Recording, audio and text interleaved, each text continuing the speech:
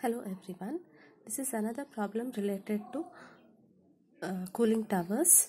So in this problem there is a mechanical draft cooling tower that is used to cool 10 to the power of 5 kg per hour of water from 43 degrees Celsius to 20, 29 degrees Celsius. For this they have used dry air which is flowing at a flow rate of 8 into 10 to the power of 4 kg per hour. That dry air has got WBT of 24 degrees Celsius. So the height of the cooling tower can be found using the equation Z is equal to NTU into HTU. So the equation that is used to find out NTU is it can be either given as integration of dhy by hy star minus hy applying the limits hy a to hy b it can also be used by using the equation ntu is equal to integration of dhy by hsy minus hy in between the limits hy1 to hy2 we have used the basis as 1 hour operation since the flow rate is given as kg per hour. So in this small pictorial diagram I have represented that from the top water is flowing at 43 degrees Celsius and leaving at 29 degrees Celsius at a flow rate of 10 to the power of 5 kg per hour and air is flowing at a rate of 8 into 10 to the power of 4 kg per hour. The WBT of air is given as 24 degrees Celsius. But the dry bulb temperature is not given. So for that we assume the dry bulb temperature to be 27 degrees Celsius. So from WBT and DBT, we can find out what is the humidity of the entering air by using humidity chart. So the dry bulb temperature we have assumed as 27, wet bulb temperature we have assumed as 24 degrees Celsius. So from 24 degrees Celsius, you already know how to find out humidity. We have to move upwards till it reaches the 100% humidity curve and then follow the closest adiabatic saturation curve uh, till it reaches the dry bulb temperature. From this particular point, we find out humidity to be 0.019 kg of water vapor per kg dry air. Next, after finding out humidity, we can find out enthalpy. So, to find out enthalpy, we need humidity. So, that can be found out now. So, humidity equation is CPV plus H2 into CPA into T minus T0 plus H2 lambda.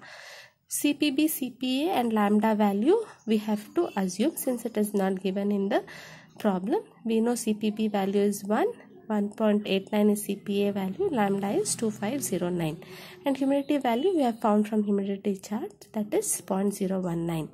T is the dry bulb temperature which we have assumed to be 27 degrees Celsius. So dry bulb temperature it's not given we have considered some temperature above wet bulb temperature. So wet bulb temperature is 24 degrees Celsius. So we have assumed 27 degrees Celsius to be the dry bulb temperature here. So once we find out HY2 that is the enthalpy value we can find out what is hy1 using the equation hy1 minus hy2 divided by tl1 minus tl2 is equal to l dash cpl by g dash. So hy2 value we have calculated tl1 tl2 that is temperature of liquid entering and leaving is known and l dash value is the flow rate of liquid water g dash is flow rate of dry air both the values are given in kg per hour. Cpl is the specific heat of water. So that is 4.2 all those things we substitute and we find out what is hy1 hy1 value we get as 149.1 kg per kilojoules per kg. The next step is we have to ultimately we have to find out NTU. For NTU we have to find out DHY by HY star minus HY. So we need different values of HY for different values of temperatures. So the temperature of the liquid is varying from 43 to 29 degrees Celsius. So in between those temperature values we have to consider some values with 5 degrees Celsius interval. Okay and corresponding to those temperatures we have to find out what is saturation enthalpy from the humidity chart. So 29 degrees celsius is the final temperature of the liquid water. So uh, then initial temperature was 43 so in between those two values we have considered two other values with 5 degrees celsius interval. So after 29 plus 5 34 34 plus 5 39 39 plus 4 uh, sorry 29 plus 5 34 34 plus 5 39 39 and 39 plus 5 we get 43 so corresponding to these temperature values we have to find out what is hy star that is saturation enthalpy from the humidity chart so in the humidity chart, we have got temperature on the x-axis and we have got enthalpy on the y-axis left side. So using the enthalpy of saturated curve correspond to, corresponding to 29 degrees Celsius and then 34 39 and 43 degrees Celsius. We find out what is saturation enthalpy and we tabulate all those values in the table. So you can see the first two columns. The first column corresponds to different temperatures and the second column corresponds to saturation enthalpy which we have got from the humidity chart. So this is T degree Celsius and this is saturation enthalpy got from the humidity chart. Next what we have to do is we have to plot this T versus HY star in a chart, in a graph. Okay, you take a graph sheet and you plot T versus HY star.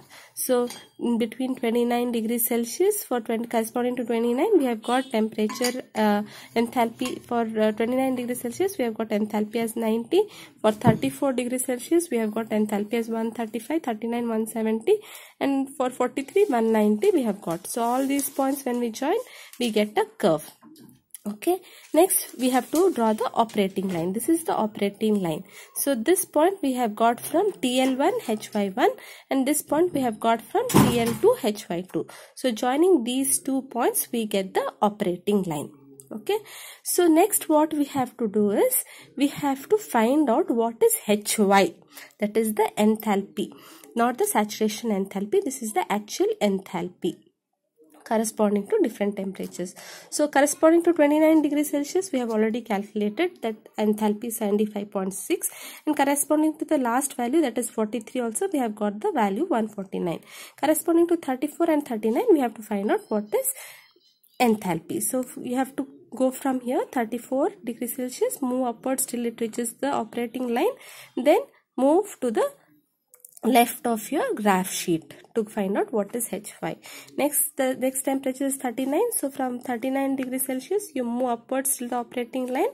Then corresponding to that you find out what is enthalpy. So you have got 100 and 125 from this graph this hy star you are getting from humidity chart. Hy you are getting from this particular graph which you will be plotting on a graph sheet. So you have tabulated what is t what is hy star what is hy what is the next step? The next step is to plot 1 by hy star my, uh, minus hy versus hy so you have to find out what is 1 by hy star minus hy okay you have to calculate hy star minus hy and find the reciprocal of that to get 1 by hy star minus hy. So you'll get another column here. You have to calculate what is 1 by hy star minus hy and then plot it against hy. So you'll get a graph of 1 by hy star minus hy versus hy. Okay, so once you find out this, you know the equation for finding out NTU is NTU is integration of G dhy by hy star minus hy.